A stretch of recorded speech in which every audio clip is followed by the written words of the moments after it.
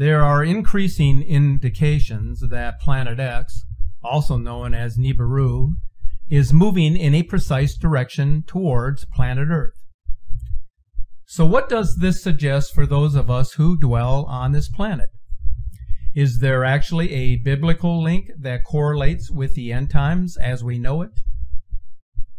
Many of you believe that NASA and other government bodies, such as the Pentagon and the CIA, are aware of its approach.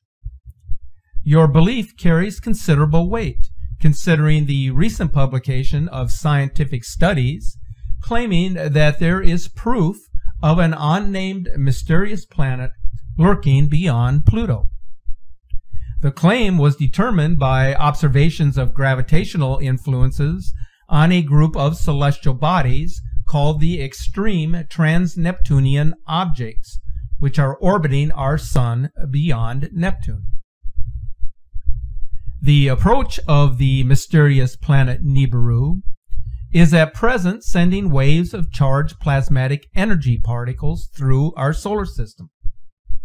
The flow of energy will finally affect the core flows of the Earth and result in catastrophic changes in Earth's climate, which is without a doubt occurring on an escalated scale.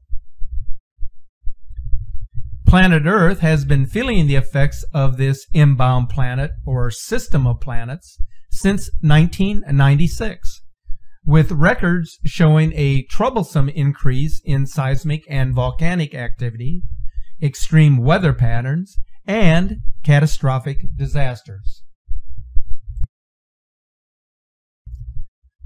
U.S. and Russian governments are aware of its approach, as is the Vatican hierarchy, which is keeping a watchful eye on the heavens with their sophisticated telescope perched high in the mountains of Arizona.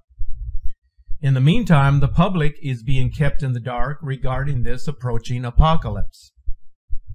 The consensus by many is that such an event would annihilate two thirds of the world's population while two thirds of those who survive the initial impact will perish over time due to starvation and exposure to the elements. The question that persists with respect to Planet X is whether this mysterious planet that scientists now claim exists beyond Pluto is the same planet that is believed to have wiped out much of humanity thousands of years ago. There is, however, more to the story than what meets the eye.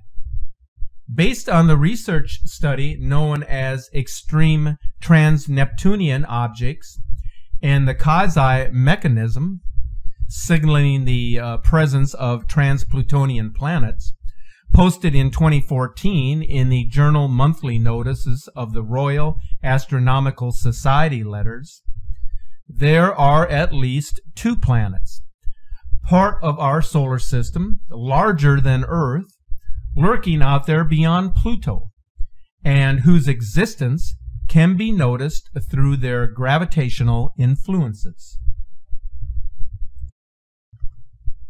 So it is fair to say that NASA understands that these planetary objects are a serious threat to our civilization. It is widely perceived that researchers had proposed that the so-called Planet X was at least 10 times as large as Earth and was most likely situated at a distance of 250 astronomical units from our Sun, with an orbit of 10 to 20,000 years. There is an understanding that an approaching large body or a star system of planets and moons can trigger considerable differences in magnetic activity. And recent data from our magnetosphere indicates that this is what is now taking place. There were even suggestions that Google Sky had revealed an area in space that had been censored by NASA, showing the wing globe moving through our solar system.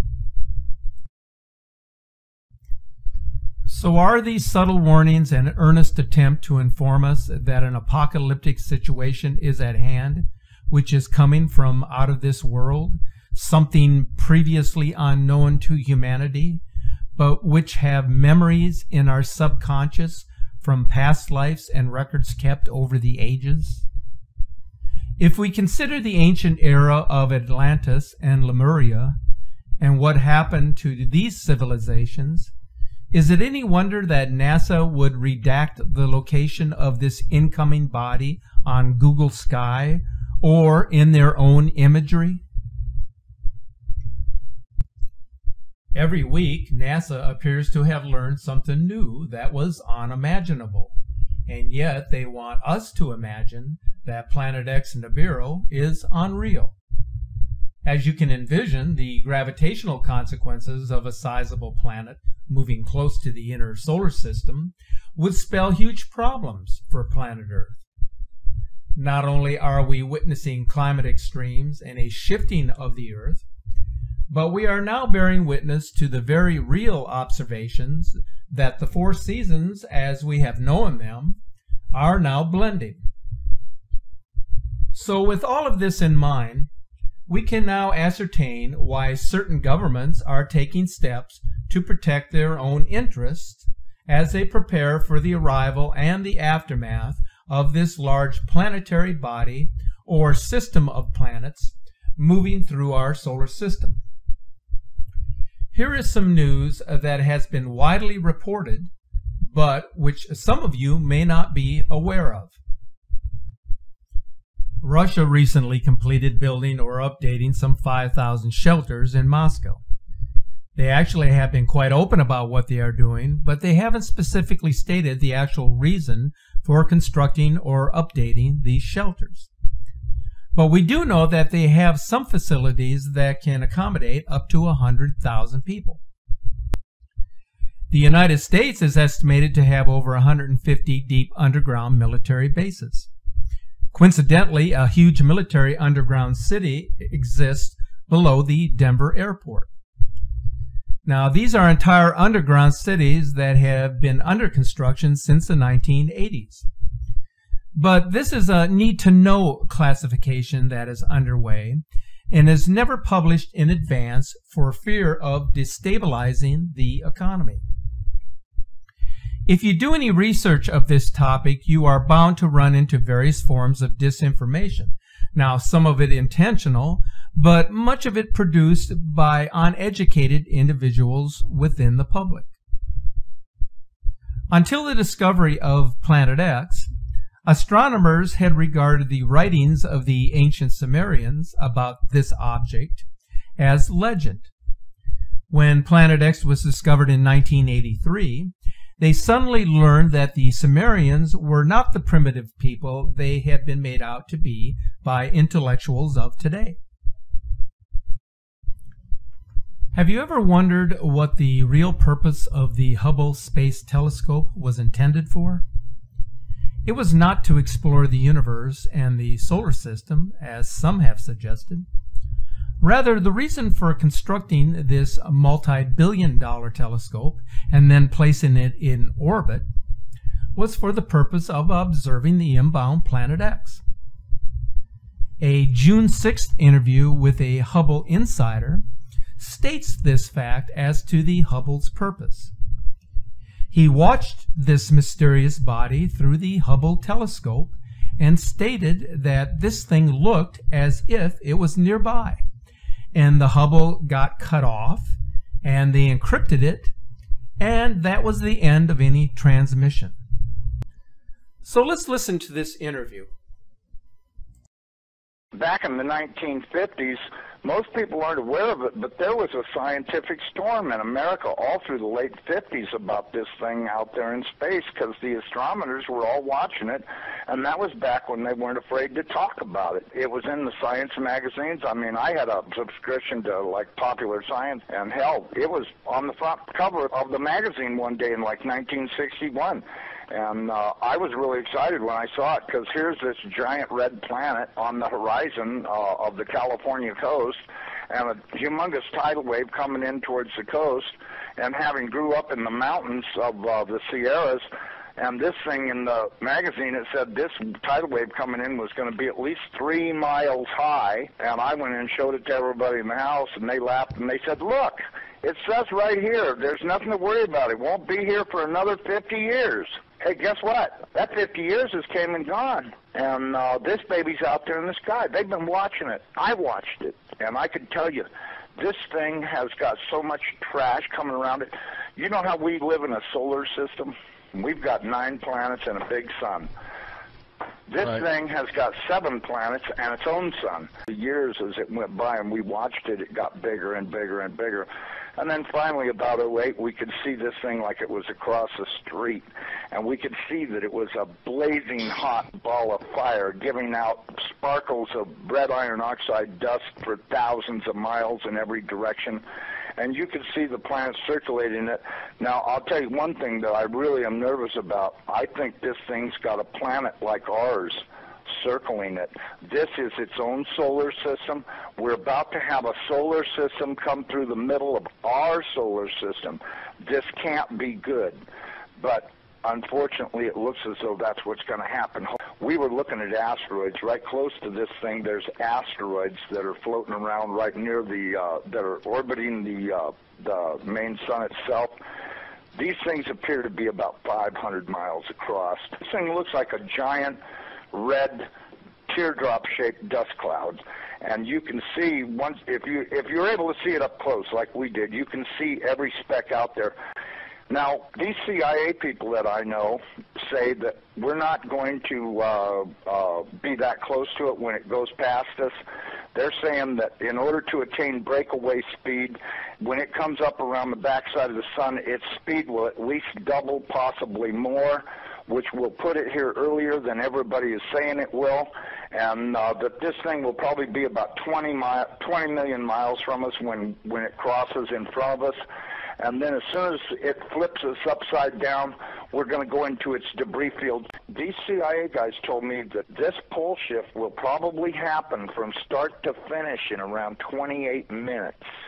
That doesn't give you a lot of warning. When you see that thing out there in the sky, you're going to have to run as fast as you can to your underground facility because this is going to happen so fast. Now, see, here's another thing nobody's talking about. You've got this giant iron planet that they say is 47,000 miles across, getting ready to come up past us. And when Well, it starts to approach us, it's going to start and have real serious effects. So is it a Yeah, planet or a failed star?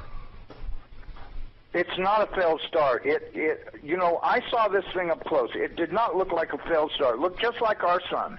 Right. Okay, it, the, would you call our sun a failed star? No. Okay. Well, you had said planet. I wasn't sure if it was like a, a failed star brown dwarf or a full sun. So it's a full sun. It's a, it, it looks to me like a miniature sun, just like the one we have. The only difference is, see, is our sun is uh, giving off flames and stuff, and this one's doing the same thing as it, but it's giving off this red iron oxide cloud of dust around it. And until it got close, we couldn't even tell what was in there. We knew we could see it was hot, and it looked like it was just a dull red when we were first able to discern it through the red cloud.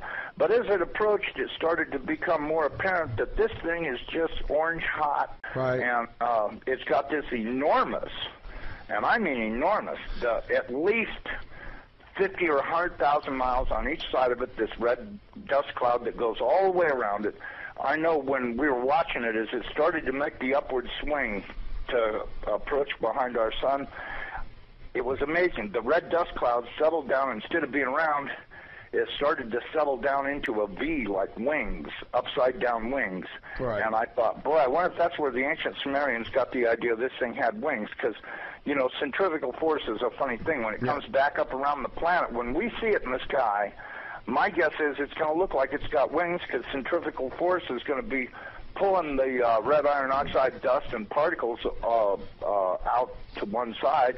This thing's going to look like a big red dragon, exactly like all the ancient Sumerians and the Chinese and all the rest of them that had documented this thing's passing before. Uh, it didn't look like a white ball or a snow cloud or nothing.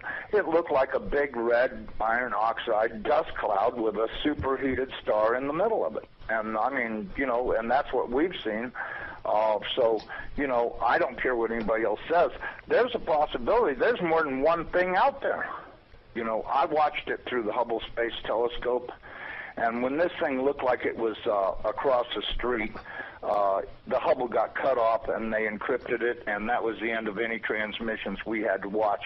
And uh, and we know that the Hubble, in order to be in the shadow of the Earth, had to be at an angle, and so that meant it was looking downward.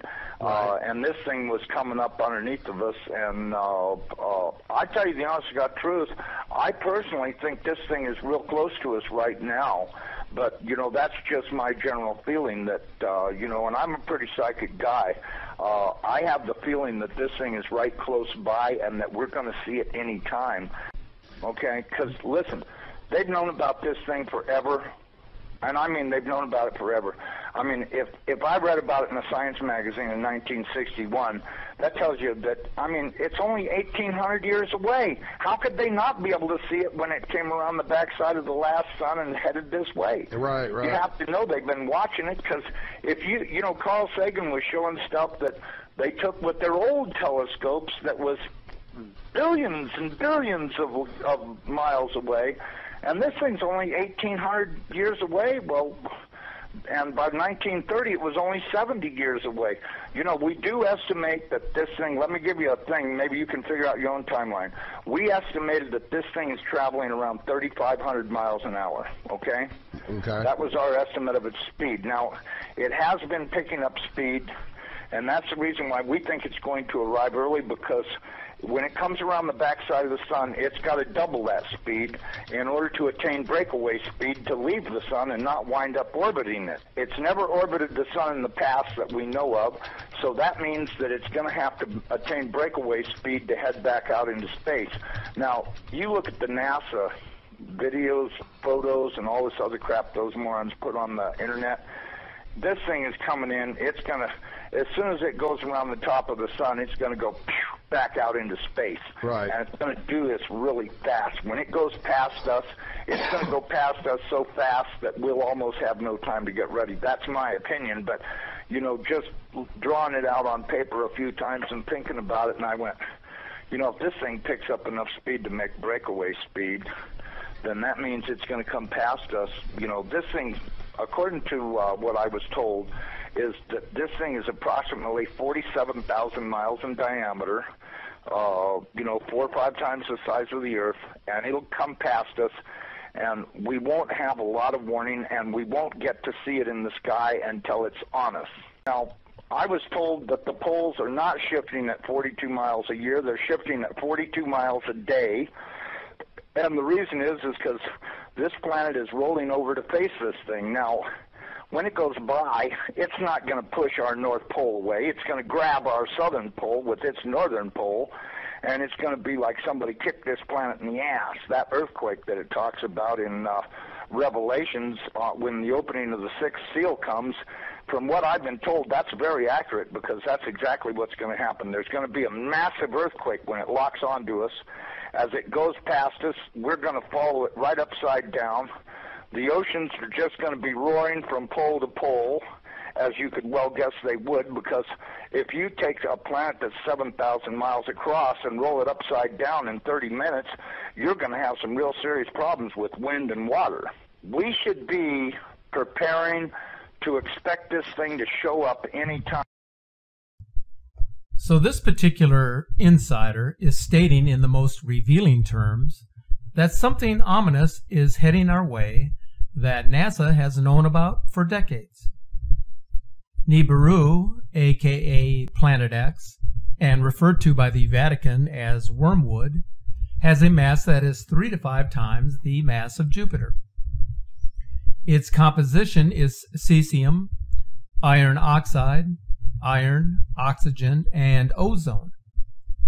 And according to the interview by the Hubble Insider, it consists of seven planets and moons that orbit it and innumerable asteroids.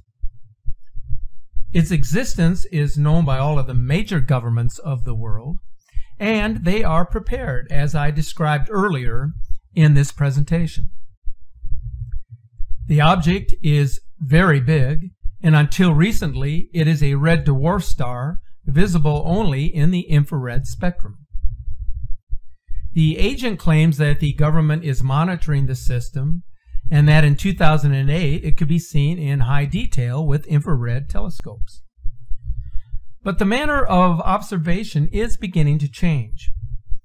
Using deductive logic, a number of independent videos are capturing its close approach now.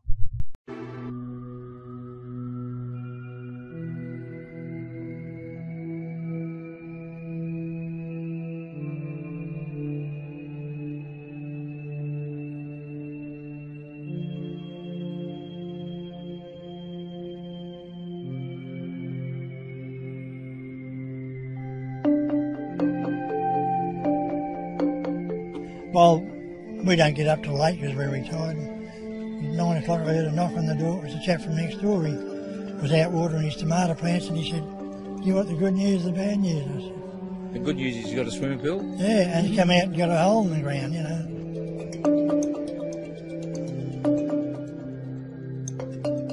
Oh my goodness. It's hard to explain. Yeah. a hole in the backyard. and as we've been out, as we've been out here watching it all morning with our neighbours, it's got bigger and bigger and bigger. And I think, when's it going to stop?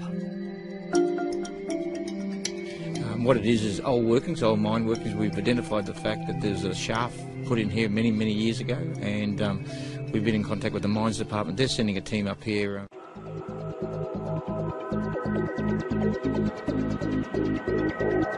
Uh,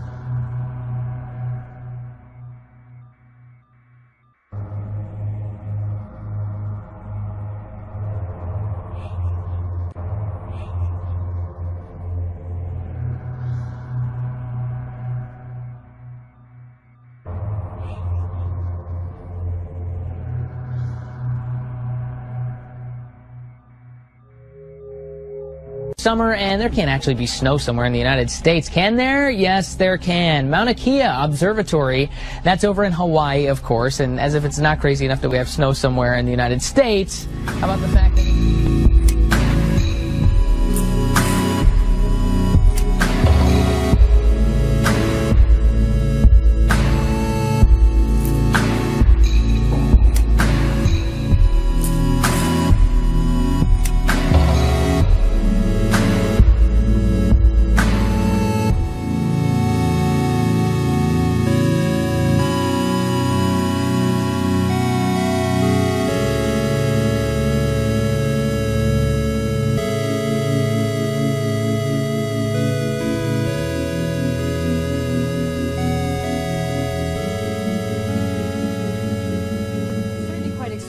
Becky, because the weather woes never seem to end in this country for weeks, even months. People in this country have been really just praying for one thing, and that is for the monsoons to arrive, because after two years of drought, their farmland has been desecrated. There's been this heat wave that's been sweeping across the country, killing hundreds of people. And now it's the monsoons that are killing people. As you mentioned, 90 people killed just in a matter of 24 hours, mainly in this one state of Bihar. Most of the people who died were farmers because this is a time uh, as the monsoons arrive when farmers are out planting. Uh,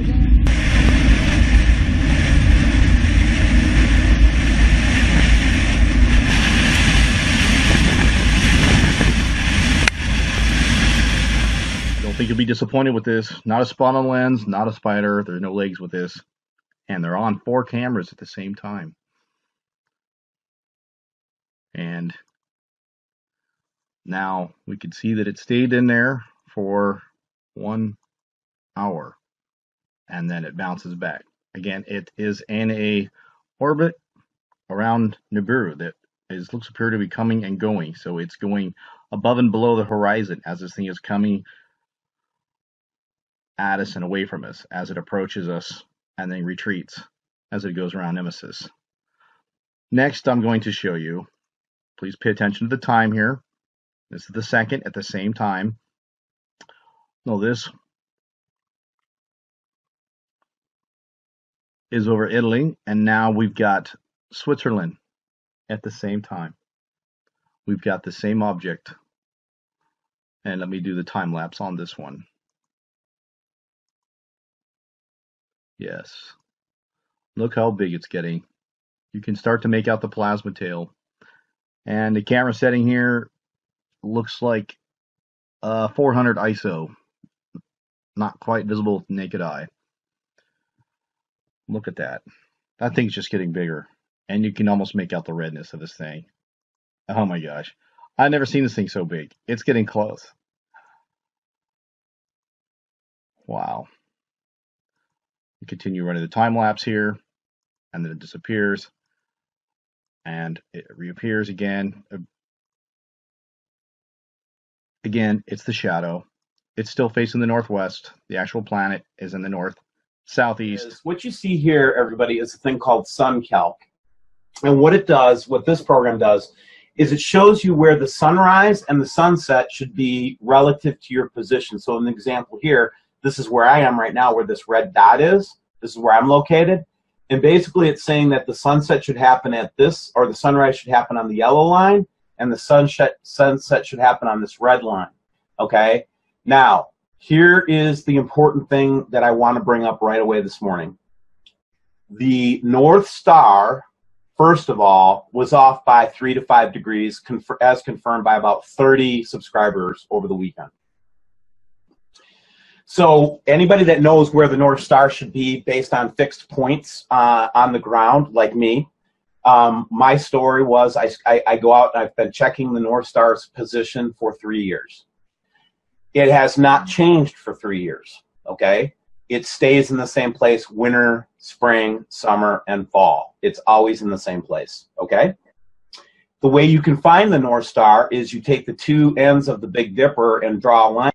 So our position, fixed position relative to the North Star right now is off by three to five degrees to the west, Wayne or to the east?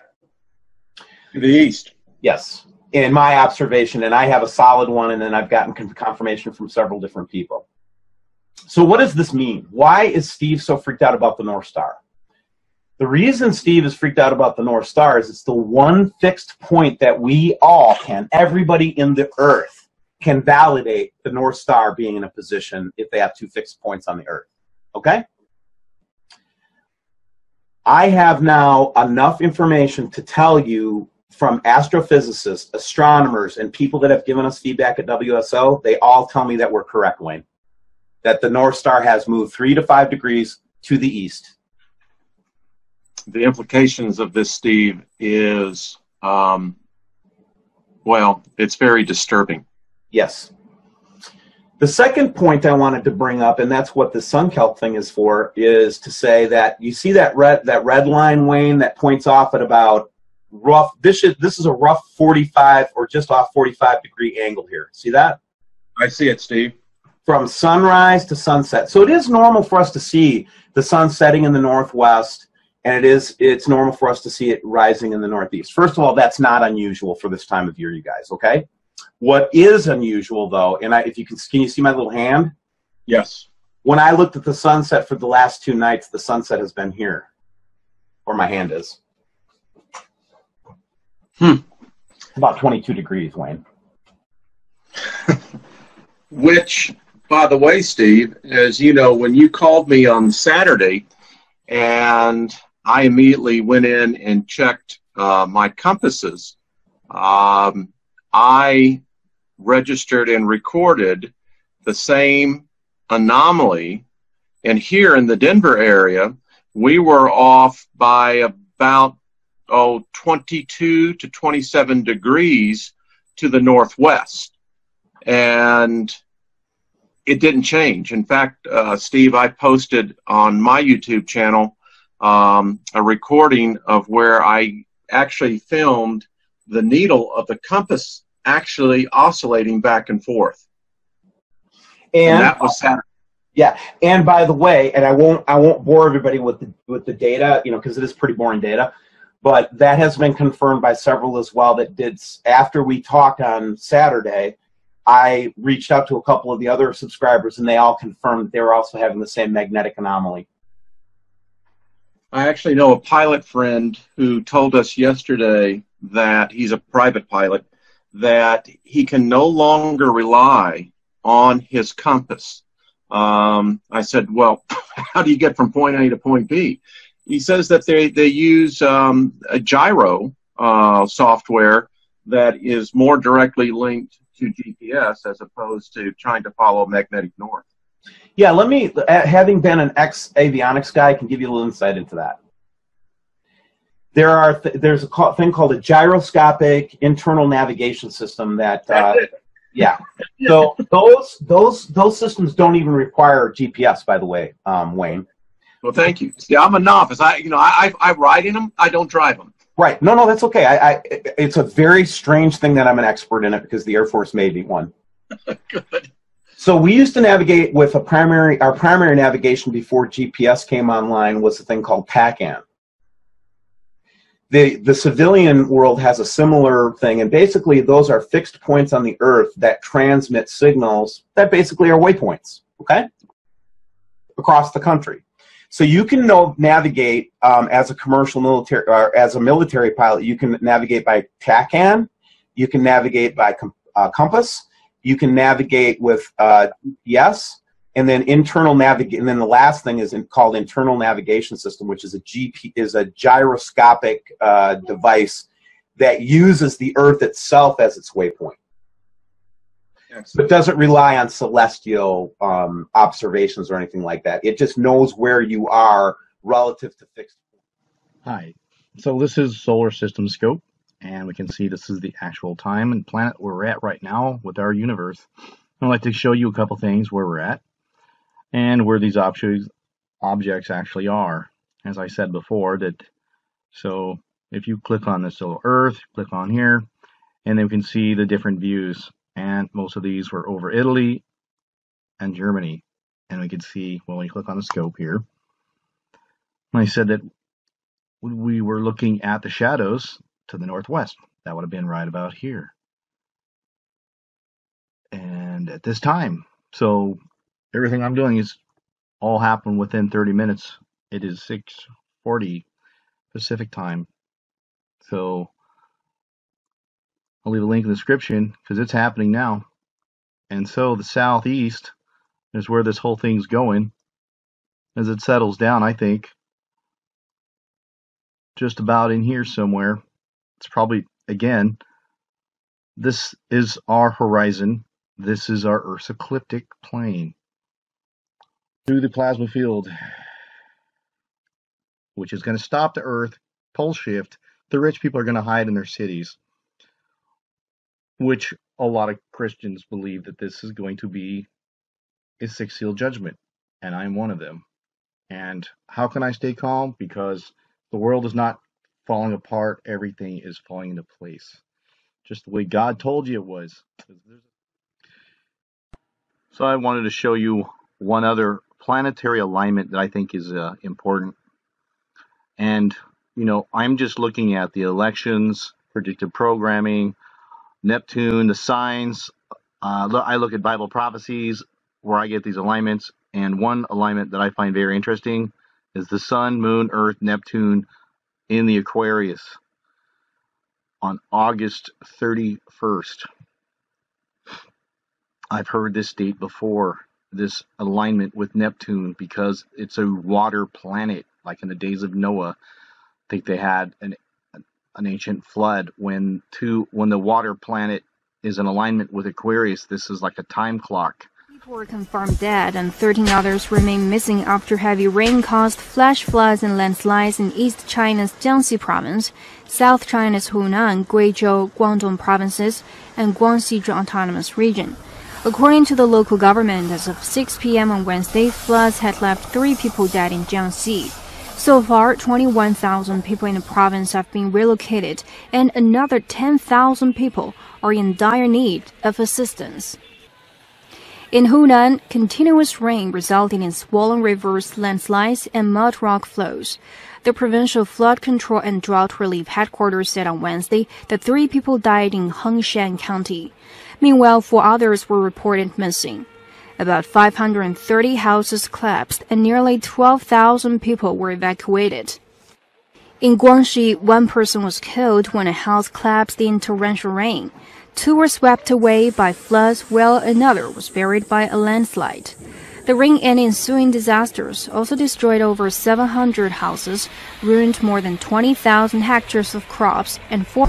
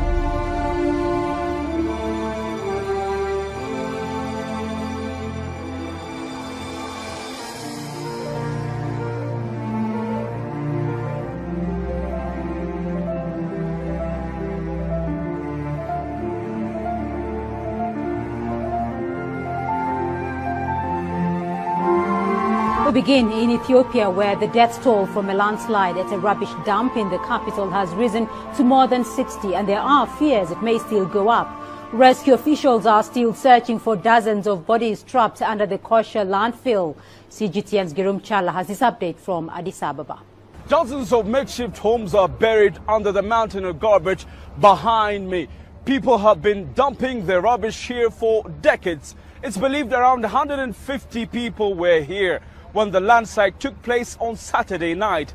Dozens of people are buried under tons of waste, as you can see behind me uh, there. People had been making a living by picking through the rubbish dump for useful items. Some had even made permanent homes for themselves around here. It's believed children are among the dead. Search and rescue operations continue here, but rescue workers face a tough task. Bulldozers have to carefully remove the rubbish uh, over there. The heavy machinery could cause further slides as well. For now, they operate in the hope of finding survivors.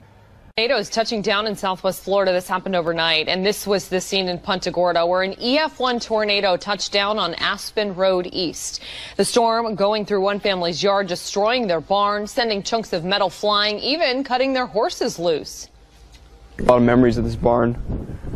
Had it ever since I was 13. Now it's gone. Went out with him. We and the other horses were loose, running around, and it's very dark. Well, the storm also flipping the family's truck over on its head. All the family's animals are expected to be okay, though one duck was lost. The family says they're working to clean up the mess and rebuild.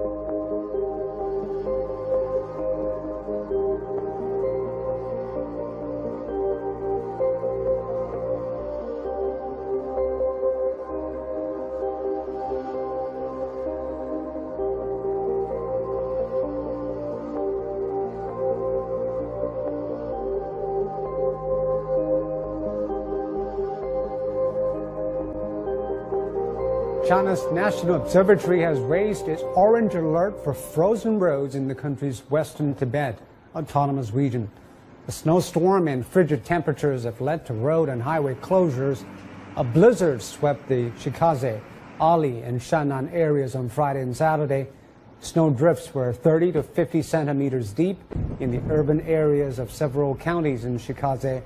Well, the power supply in downtown Keelung was also temporarily cut down. Local authorities are clearing the roads, so they also distributed food and livestock feed in advance to help villagers graze for this snowstorm. Maurice Christine, good evening. It is low tide here, but high water on the Great South Bay, where streets flooded and folks were forced to stay inside. Cars caught in salt water, a big problem. The rainy, wintry mix melted, and even several hours after noon's high tide here on Suffolk's South Shore, streets in low-lying areas were impassable. All eyes are on that massive storm. Take a live look at Wrigley Field in Chicago. The snow starting to come down right now. The roads messy, there this morning. They're bracing for up to half a foot of snow today. Highway havoc in the Midwest, a late winter storm slamming millions from Iowa to Minnesota. Awful. I didn't expect it to get this bad. It's intense. So crazy. Plummeting temperatures, freezing freeways, sending cars sliding off the road and into each other. The treacherous conditions causing this 24 car pileup outside of Minneapolis. Wind and waves from Lake Ontario, along with freezing temperatures, engulf this New York house in ice. Surprisingly, this isn't out of the ordinary. Delays in the Twin Cities as airlines scrambled to de ice planes is stuck on the tarmac. A frigid blast blowing across the region overnight, dumping close to 10 inches of snow from the Dakotas to Iowa. Another 24 inches expected in some areas by Wednesday. But merciless sub-freezing temperatures disastrous near Detroit. 65,000 people in the area still without power. And officials now say carbon monoxide poisoning from generators have left two people dead. In this northern Detroit home, a mother and her two young children hospitalized. This morning, across the Northeast, 60 million residents are bracing for the winter wallop as it barrels.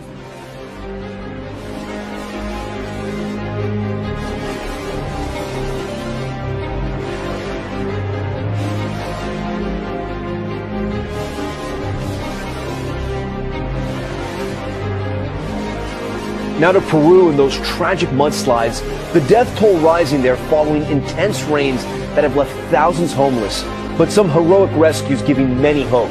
Here's ABC's Marcy Gonzalez.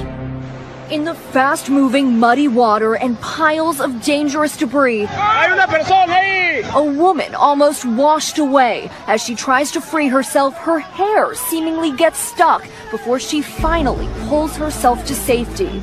One of many lives narrowly spared from Peru's raging flooding and mudslides that officials say have killed more than 70 people so far this year and left more than 70,000 people homeless. Tonight, as intense downpours overwhelm towns and send rivers pouring over their banks, desperate rescues are underway. Near the normally dry capital city of Lima, dozens of people crowd onto rooftops above washed out streets. Zip lines being used to bring families and pets over fast rising water.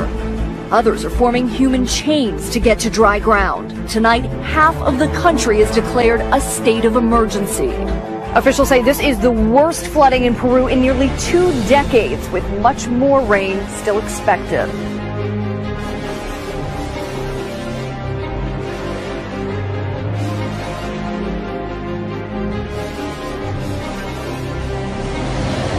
دومی دومی. ها واو داره کجا بریم آه آمبولانس آمبولانس کجا؟ ماشینه.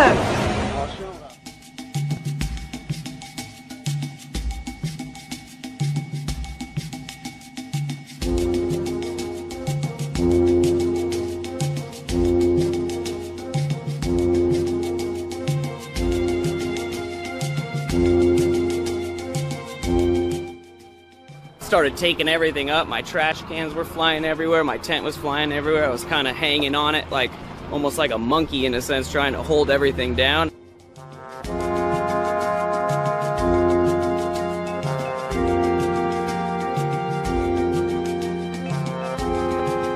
There is one video taken by Louisiana resident Danny Garceau on April the 1st. The video has garnered a great deal of attention. I would say uh, that this is one of the most convincing captures of the star system that I have analyzed over the years. The brown dwarf in a very rare appearance as it orbits our sun in retrograde fashion.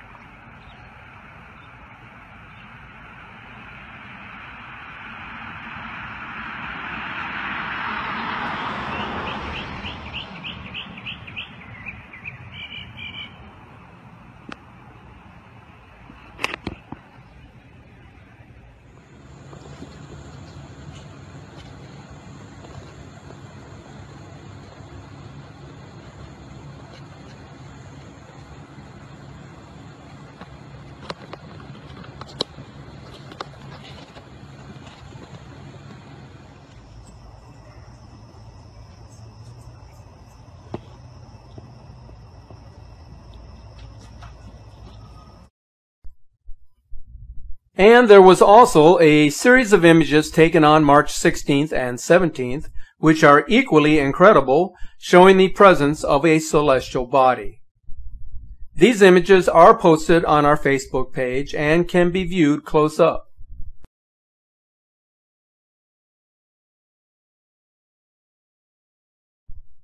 And be sure to follow our page for daily updates on the Planet X Nibiru system leave a comment or a message, and as a source to share your images and videos. 4th, Tuesday, 9 o'clock Mountain Time, 2017. What we're looking at is the Gulf of Mexico rainbow loop is what they call this. And you can still see a persistent disturbance down here in the Florida Panhandle. It's slowly moved across Louisiana, southern Mississippi, Alabama, and it's been hitting Florida and Georgia the past couple of days.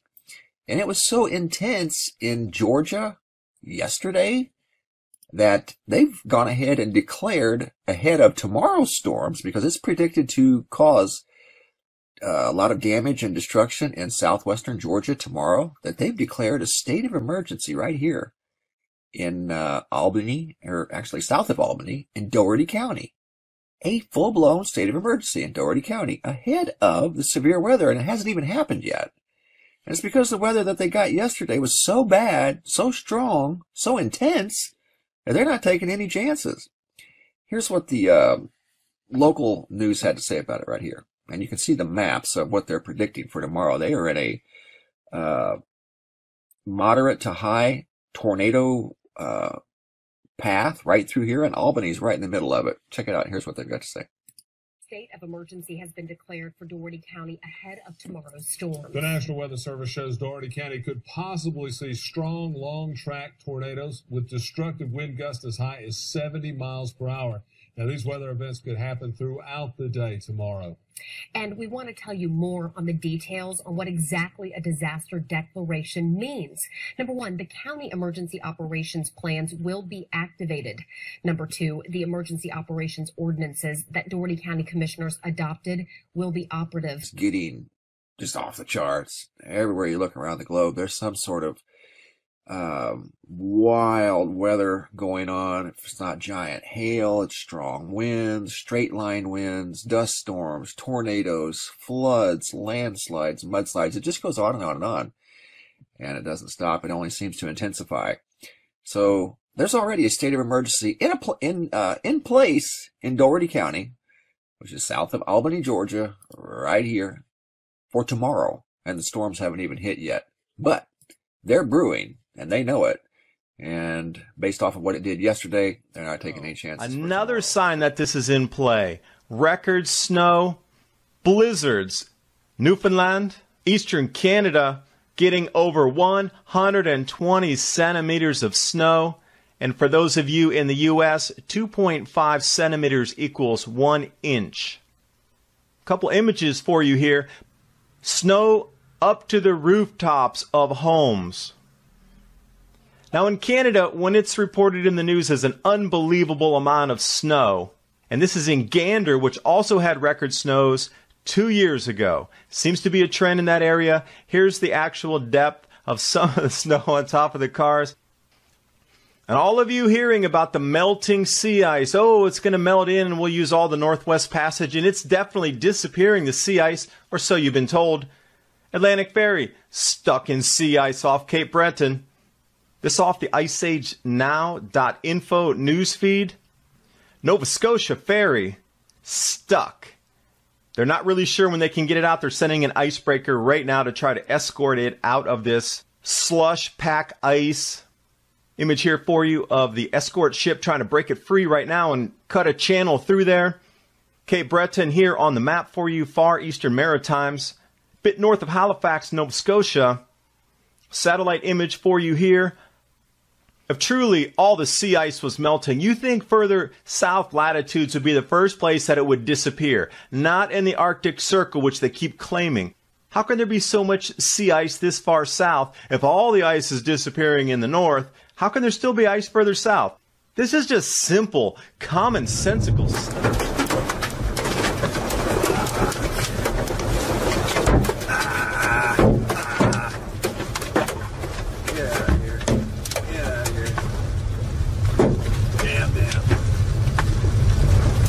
Loving life. Oh! Should have saw that. Oh! my safety glasses. Ah, yeah. Damn, those came out of nowhere. Sucker that got me. Big Daddy.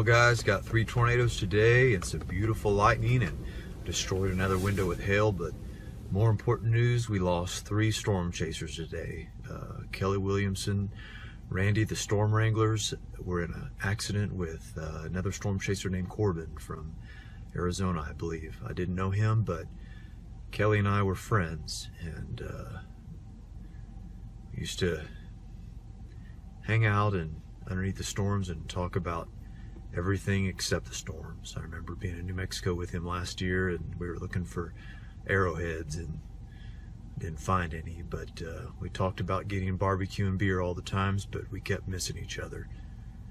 Um, just last two days ago in Oklahoma, he and I got to hang out for a good 20, 30 minutes before getting all the funnel clouds, and uh, he was uh, he was a hard worker and he was a good storm chaser. He was just a good old boy, down to earth guy, and that's what made the Storm Wranglers TV show so good. And uh, and uh, I'll miss him.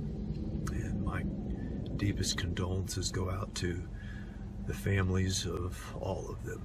Uh, it's uh, yeah. So I don't know what else to say, but rest in peace, guys.